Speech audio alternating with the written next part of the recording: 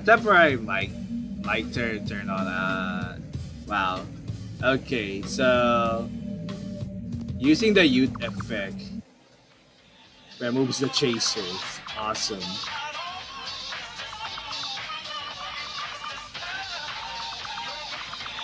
I think I should be here for a long.